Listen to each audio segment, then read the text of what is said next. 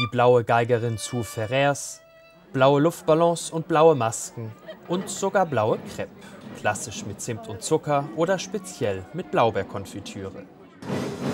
Grandios! Hervorragend. Super. Schön blau. Dieburg in Blau machte auch vor den kulinarischen Genüssen nicht halt. Der Trick, einfach ein bisschen Lebensmittelfarbe dazu und schon kann das blaue Teiggebäck genossen werden.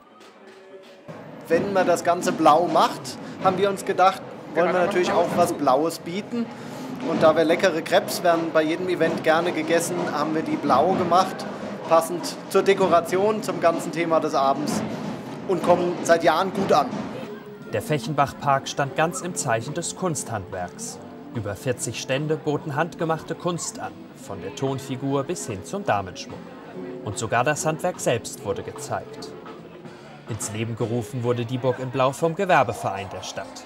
Angefangen hat alles ganz klein, doch von Jahr zu Jahr wurde das Fest besser angenommen.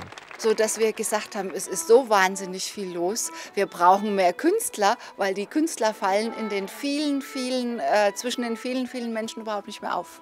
Ja, und jetzt, es macht einfach Spaß, es ist ein Kulturfest, es gibt Musik und es gibt Tanz und es gibt Zauberer und die Geschäfte haben ihren Spaß, die Gäste haben ihren Spaß und es ist einfach ein Traum, ein blauer Traum. Zum siebten Mal bereits drehte sich in Dieburg alles um die Farbe Blau. Knapp 60 Geschäfte präsentierten, was sie zu bieten haben. Bis Mitternacht konnte gestöbert und eingekauft werden. Um eine Stadt attraktiv zu halten, ähm, muss natürlich immer was passieren.